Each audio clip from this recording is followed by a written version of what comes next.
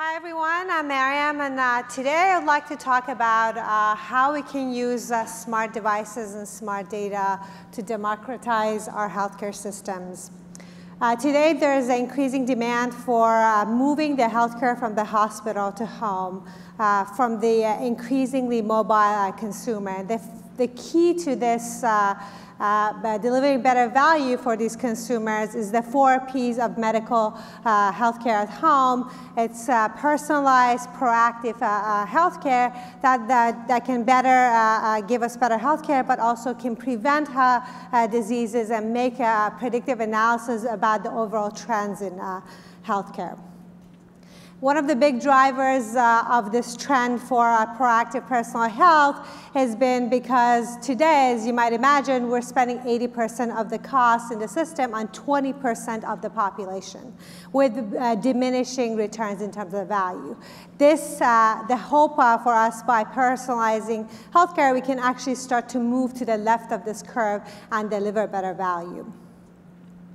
There are many uh, different ways and avenues we're tackling this problem, from nanotechnology to genomics to robotics. But today I'll be talking about um, uh, how uh, personalized uh, device, smart devices and connected system at home can transform our lives. This starts with smart sensors that are part of an intelligent uh, management system that can get connected to the overall healthcare ecosystem and deliver actual useful insights where we can close the loops with end-to-end -end analytics and uh, useful insights.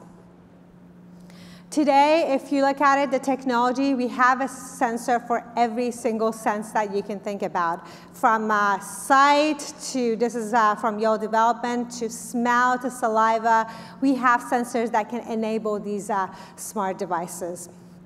From if you told uh, you know, your, uh, your dad or your grandpa that you can do a, ECG right from the comfort of your couch, you probably would have been laughed off. Today with AliveCor, this is a reality along with EyeNetra, you can just get an eye exam at home, or you know there are devices for pediatric care, as well as um, many, many solutions for our brain-computer interface. So we are in an area that increasingly, uh, there are many, many devices in the market, and this has partially been led by the uh, availability of the smart mobile technology, where from the palm of your hand, you can get your health score, you can get connected to your healthcare providers, or get many, many services as easy as opening an app.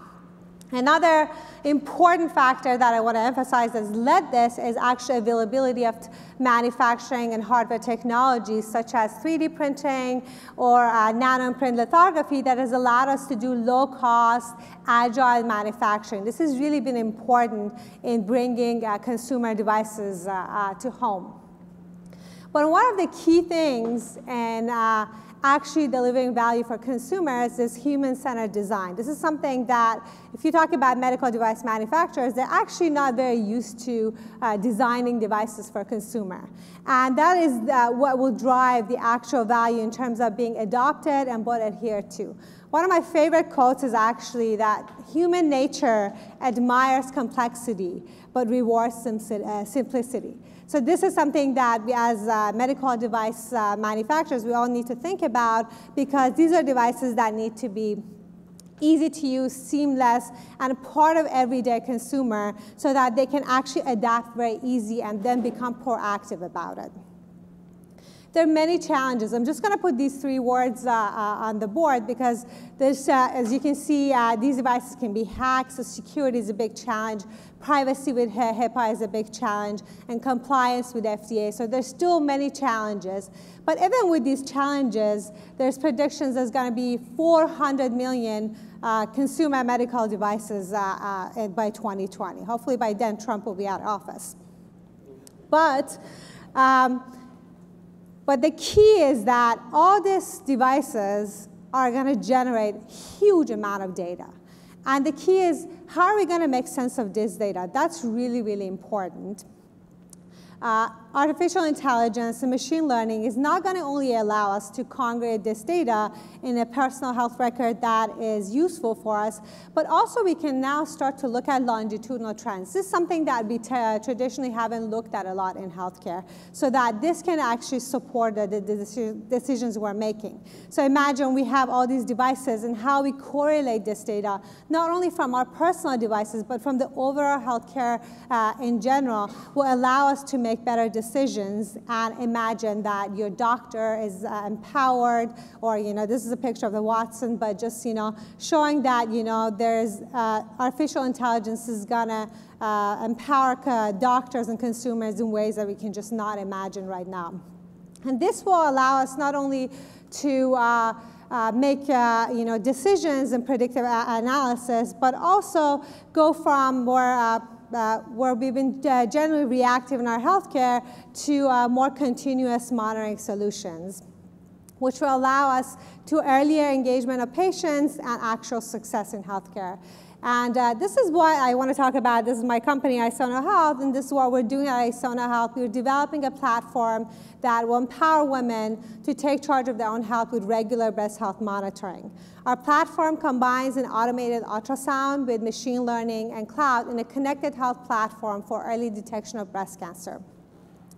Today, uh, over 1.7 million women get diagnosed with breast cancer, 300,000 right here in US. I'm sure this has affected many of us in um, uh, one way or another. It has affected me and my family. And the key to uh, surviving breast cancer is early detection, as is in many other uh, healthcare uh, solutions. But today, one in three of breast cancers are missed at early stage. I want to say that again. One in three of breast cancers are missed at an early stage. You might ask why? Because uh, breast cancer screening is sporadic. It's inaccessible to millions of women, especially younger women. And for women who even do have access, the current screening doesn't work for half of them because the X-ray technology mammogram simply cannot see small tumors in dense breast tissue. And half of women have uh, dense breast tissue. And women who are high risk because of the family history or genetic, they need even more regular monitoring. That's something that's not available. So what is the alternative? The alternatives are MRI, which is not a scalable solution, and ultrasound.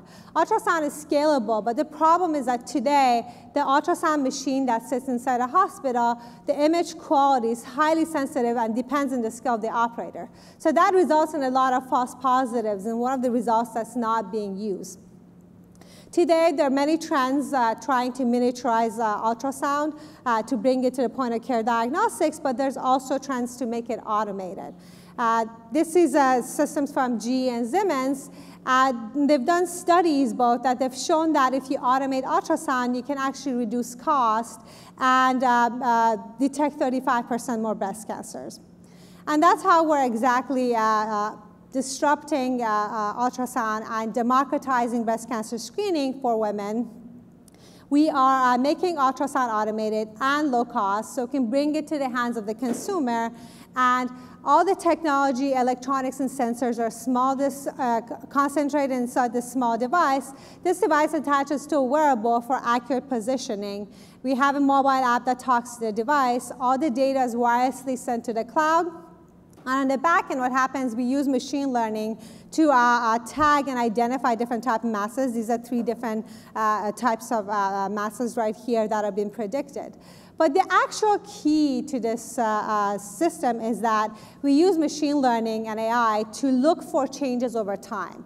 So this personalized, consistent monitoring time is actually the key to early detection. I talked about this, and this is the overall trend that is true about the, uh, healthcare in general. With our system, in just two minutes, you can scan your breast at the comfort of your own home without any radiation, and you can get actionable feedback so that you can talk to your physician and make the right health decision at the right time. So you can do something about it when it actually matters. We've actually done clinical studies already. Uh, we've uh, been able to detect millimeter-sized masses. This is just some uh, clinical data.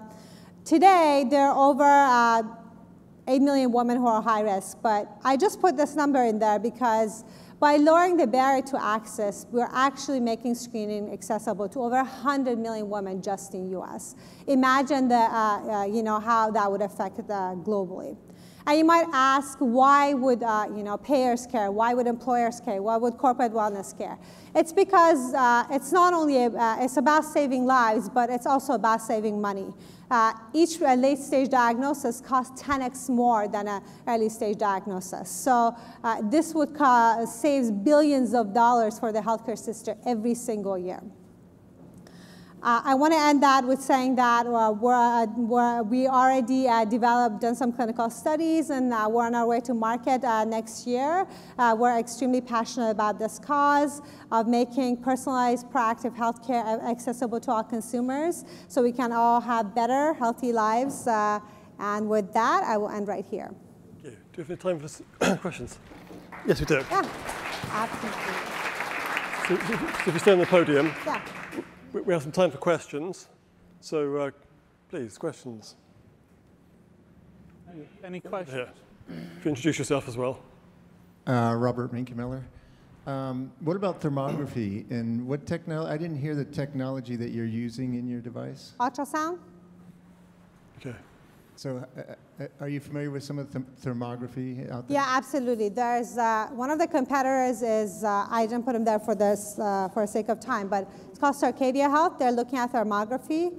Uh, the FDA put a warning that there's no direct link between uh, thermography and actual uh, cancer cells, but they're doing uh, uh, clinical trials right now. So uh, one of the things, one of the biggest differentiator is that ultrasound is a proven technology, and you only need to potentially use our device for just two minutes, versus for a, a, thermography system, you need to actually wear it for extended period of time because you need to calibrate against normal temperature body changes as well as environmental temperature temperature changes. So it's to be seen that if there is a, a direct correlation between thermography and actual breast cancer. Time for, we're out, okay, we're out of time. So uh, thank you very much. Thank you. Thank you.